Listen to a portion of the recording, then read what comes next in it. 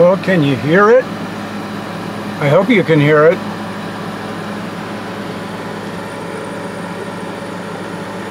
There's the new uh, AC. It's uh, right now it's just um, uh, test fitted, I guess you'd say. It's still just resting on where it's going to go in the bottom there. You can see it resting on a edge. I haven't shoved it all the way back in because these side panels here uh, use an accordion pleated stuff like this. And I'm gonna have to I'm gonna have to cut this down. It's too big. There's too much there. So I'm gonna have to uh, I'm gonna have to cut it down in order to fit it into the spaces where it goes right over here. I just have styrofoam there to keep any hot air from bleeding into the coach from behind it. Um, just basically to temporarily seal it so I can test the efficiency of the of the uh, air conditioning unit. But um, yeah, I have to cut down those accordion pleats.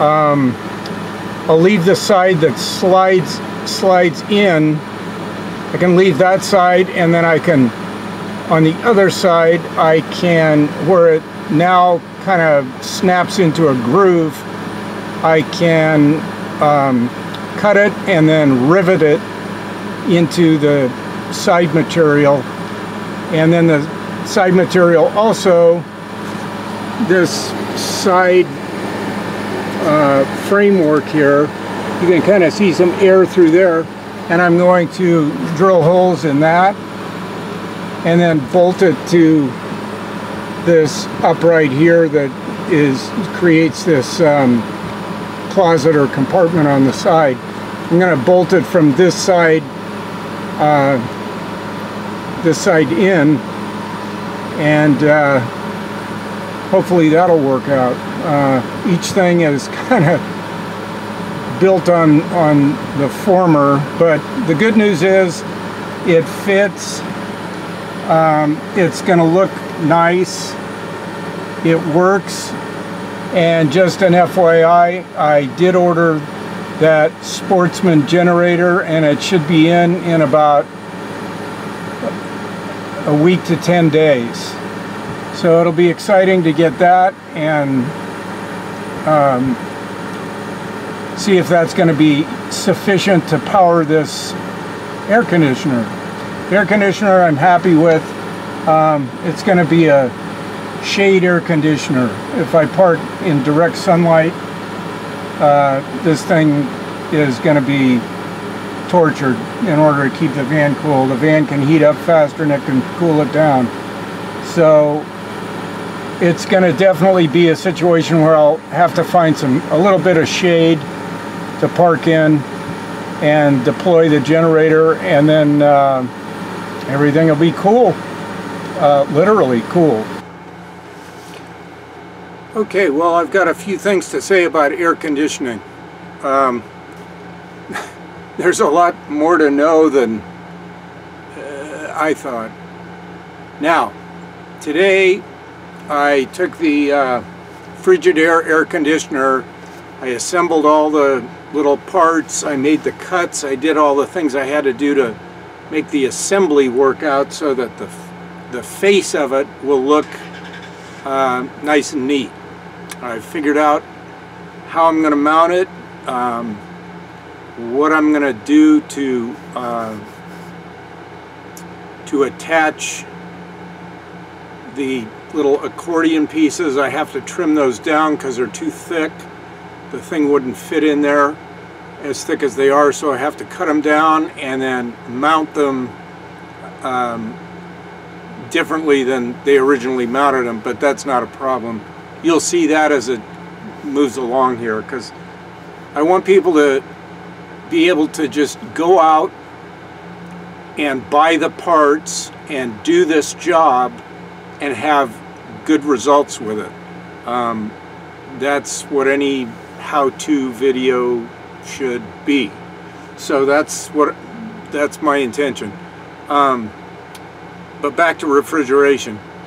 The original air conditioner uh, has vents on the side and a big open area in the back that looks like a radiator.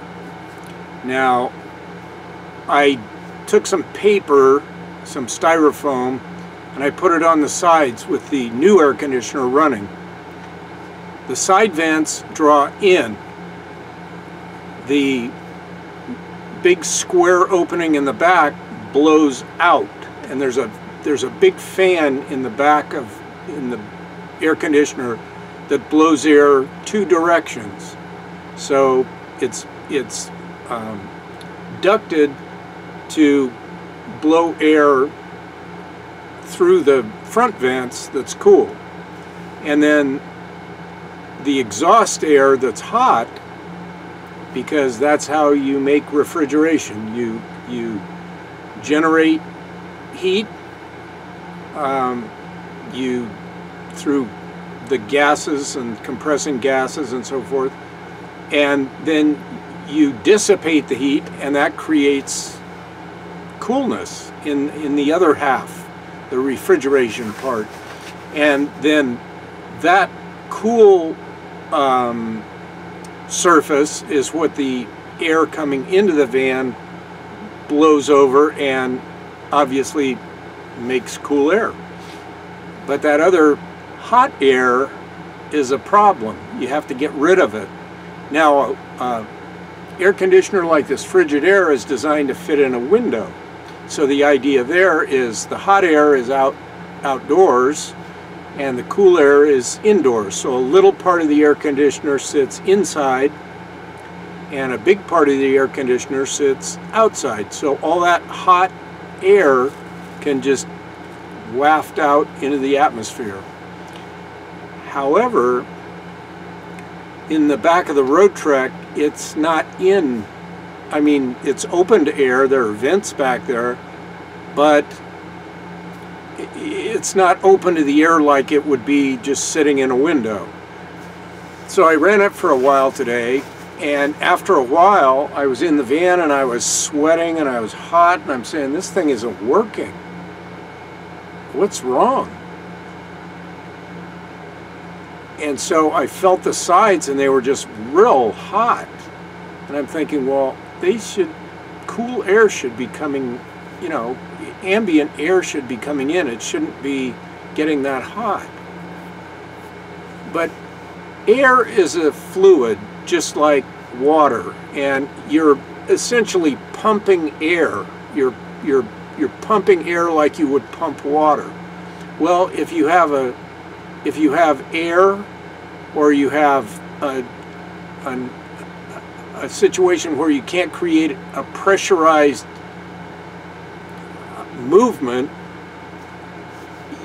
you do something called cavitation, which is it just kind of loops around, loops around, and just if it's in a car, like in a car radiator, if you have cavitation, it just gradually heats up, heats up, heats up, and pretty soon the car will overheat until you get that that air that's in the system that's causing the cavitation, causing the air not to or the water not to circulate. Uh, until you get rid of that it's uh, you're you're uh, going to overheat. Exactly what happened to this air conditioner.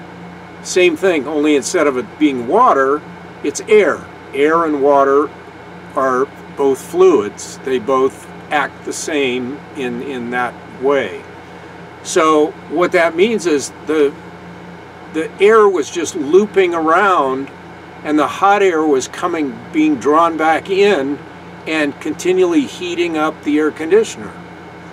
So now it gets to a point where it's like, yeah, you, you got air you got air here that's like 180 degrees, 140, 150 degrees. Um, I'm doing the best I can, but I can only refrigerate it down to about you know, 80, 80, 75. That's kind of the best I can do. Maybe a 50 degree drop. Well, so it's 80 degrees inside of the van. I'm really, it's like I'm sweating in, inside the van because it's hot. So what I did was I took that endless breeze fan I had and I put it outside the van. I hung it up there in front of the vents and uh, turned it on. And what happened? Well, it sucked all of that hot air right out the back of the van, out of that boxed in area where the air conditioner lives. And so I get inside the air, I get inside the van, I feel the side, and the side is not cool to the touch, but it's certainly not hot like it was. It's maybe lukewarm, if that, maybe 70, like room temperature, I would call it. Now, I put my hand in front of the air conditioner where the outlet is to make the cool air, and it's ice cold.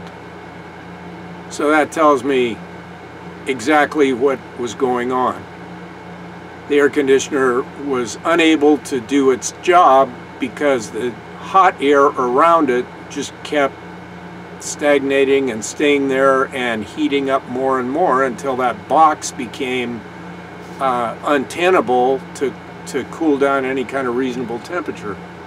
Once that air was able to move out, be drawn in and, and blown out, uh, everything worked fine. So like I say, it's, it's, a lesson to me. Maybe it'll help somebody that's struggling with um, figuring out how to make their air conditioner work better. Uh, maybe they think it's broken or not working and maybe it was just not installed properly. So I have a fix and um, I'll be going through that when I finalize the installation. I have to make all these parts because once I put this in, I don't want to have to take it out again. That's going to be where it lives. It's I'm not going to mess around with it anymore. Um, um, you know, unless it breaks and I have to take it out, well, then I'll ha have to figure out how to get it out of there.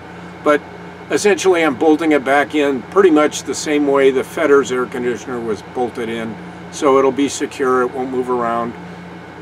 And I'm confident uh, that I've figured out why it wasn't doing what it should be doing. And of course, I got my understanding of that once again from Roadtrek. I marvel at the things they do uh, when they installed this air conditioner, obviously whoever did it knew exactly what they were doing when it came to air conditioning because they created uh, an outlet for the hot air and an inlet to draw in cooler air into those side vents.